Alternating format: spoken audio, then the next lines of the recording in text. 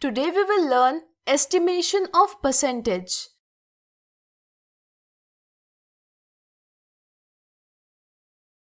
Let's know how estimation in percentage is done.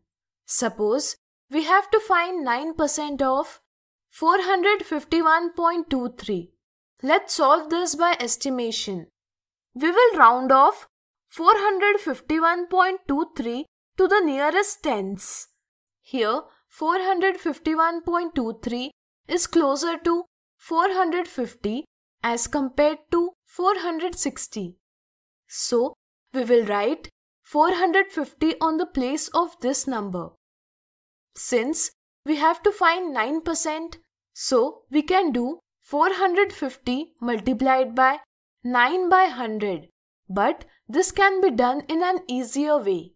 First, we will find 10% of 450. 10% of 450 is 45. Similarly, we will get 1% of 450 which will be 4.50 that is 4.5.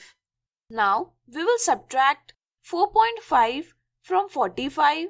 So we will get 9% of 450 that is 40.5. Therefore 9% of 451.23 is about 40.5.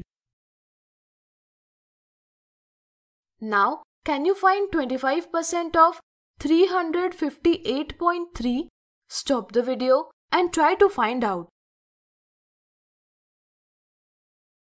Let me tell you, the approximate nearest tens of 358.3 is 360. 25% means 25 by 100 that is 1 by 4.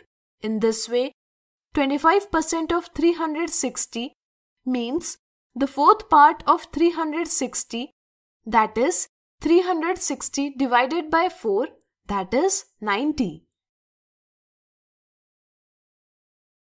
So today we have learned estimation of percentage. In the next video, we will see some examples related to comparison of quantities.